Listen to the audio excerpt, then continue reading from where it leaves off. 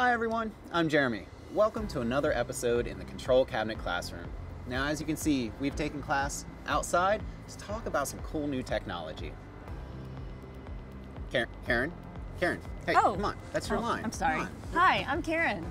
Karen, come on, we're shooting a video. Get your head out of the clouds. They're so pretty. Stick, come on. All right. Uh, You know, I'm just messing around, Jeremy, but hey, can you blame me for having my head in the clouds? I mean, today's episode is all about the industrial cloud.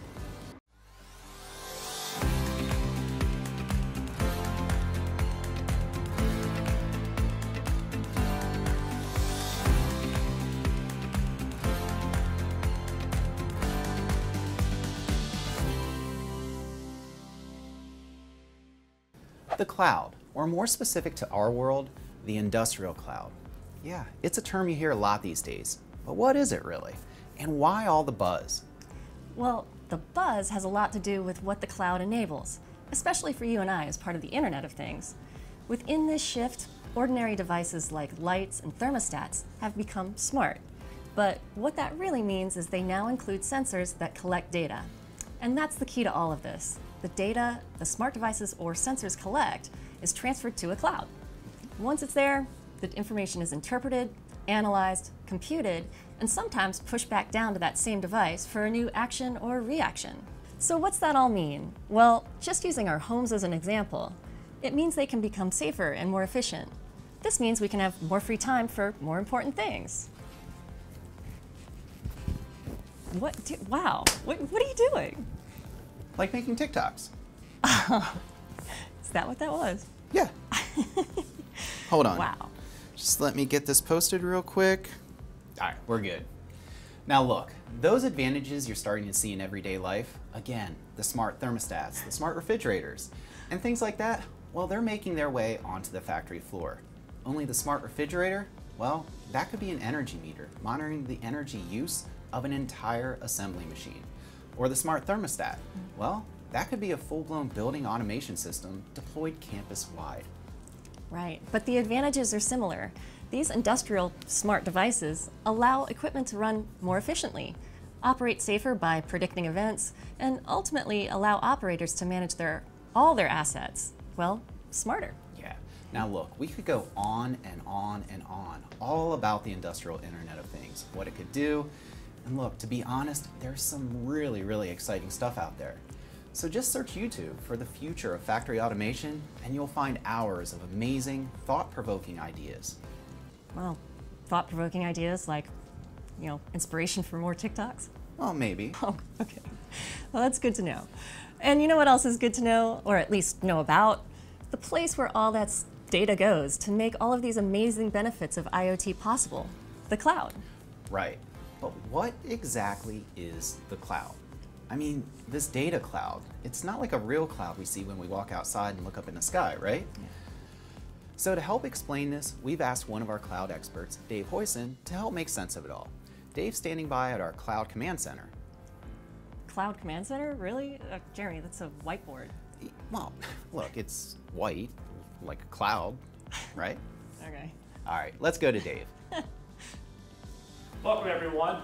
So there's been a lot of hype and buzz around the industrial Internet of Things lately. Yet still get a lot of questions every day. What is the industrial Internet of Things or IIoT? What components make up an IIoT system? I would like to try to use the next few minutes to walk through an example to help try to answer some of those questions.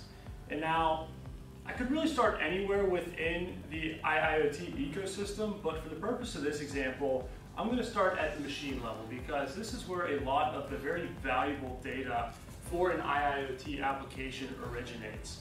Now, as a point of clarification, a lot of times when people think of the industrial Internet of Things, they think of smart manufacturing. Now, while this could be a packaging machine used in a manufacturing plant for a food and beverage company, this could also be a automated guided vehicle driving around a warehouse picking up boxes. This could be the electrical control cabinet for a substation for a power utility. This could be a control cabinet for a lift station used by a water treatment facility. This could be, really be any machine used in an industrial industry. Now, when we look closely at the machine, we'll see two distinct categories of products within the control cabinet. On the one side, you're going to have what I'm referring to as the cabinet infrastructure. These are the components that are responsible for electrically powering, distributing the power, and protecting the machine from power. So you're going to have components like power supplies, cables, wires, terminal blocks to distribute that power. You'll have relays, and you'll protect the machine with your circuit breakers and your surge protection. Now, on the other side of the control cabinet, we will have a category of components that I'm referring to as the automation technology. The automation technology is all about the data of the machine. And at the center of the automation technology, we have the PLC, or the Programmable Logic Controller. The PLC is really the brains of the operation. It is the computer that is collecting all this data being read by sensors out in the field. These sensors are reading things like temperatures and pressures and voltage and current. And the PLC is taking all of that data, it does some processing on it, and then it uses that data to make some logical decisions and turn on and off actuators or the outputs. These are your things like your pumps and your motors and your valves, the, the components that are actually like running the process of the machine. Since the PLC is a computer, uh, a lot of times you'll have a human machine interface or an HMI so that an operator can uh, access the PLC locally and make some changes and see what's going on in real time. And then finally, a lot of times you don't just have one machine. You might have a bunch of machines out in the field and you might want them to talk to each other. Uh, so you'll have things like networking technology, which is your routers and your switches and your gateways and your WLANs. Anything that lets this machine share data with any of the other machines on the network.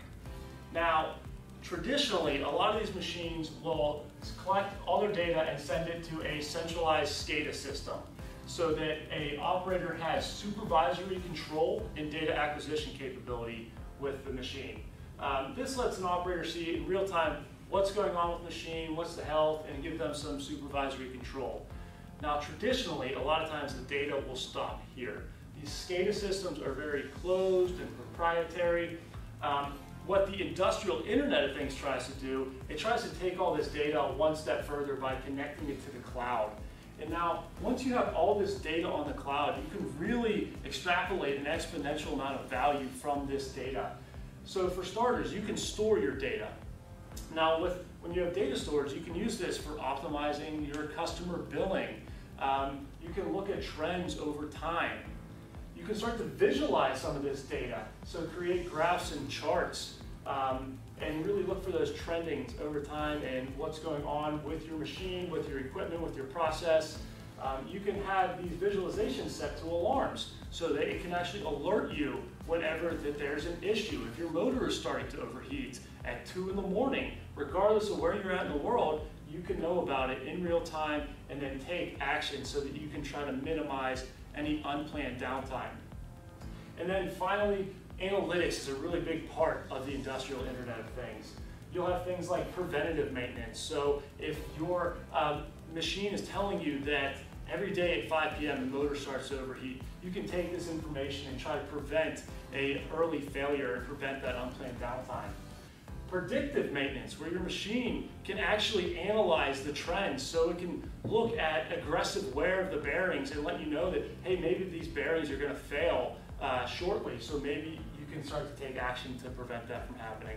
And finally, prescriptive maintenance, where your machine is using some artificial intelligence and machine learning to analyze data sets and ultimately look for anomalies and look and recommend how you can prevent um, an issue from occurring or prevent any downtime. Now, this is all, all I was talking about was with the machine data, but the industrial Internet of Things doesn't stop here. The industrial Internet of Things, since it's on a centralized place in the cloud, you can start to integrate other enterprise softwares with this data. So some of the examples of this software you might mix in with your machine data is your ERP or your enterprise resource planning data.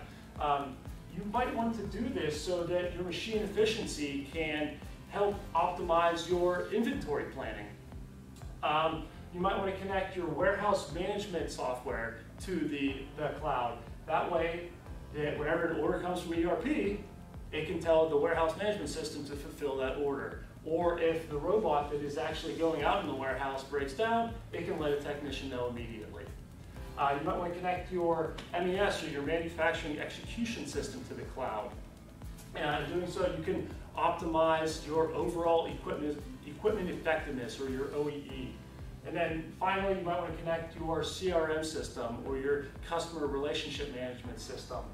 By doing so, if your product has an issue, it could automatically generate a service ticket and help improve the overall customer experience.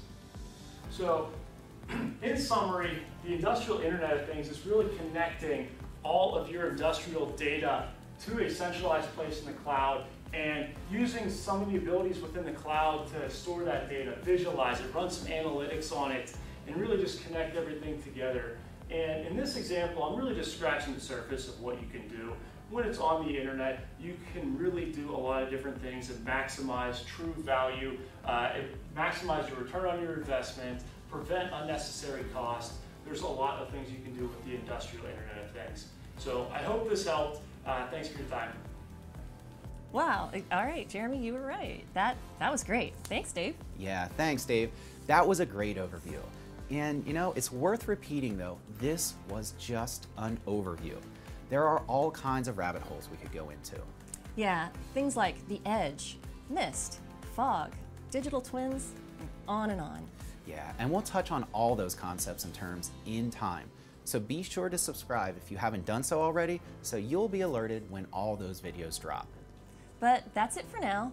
As always, thank you for watching, and we'll see you next time. Ah, no way. Check this out. I already got 16 likes on my TikTok.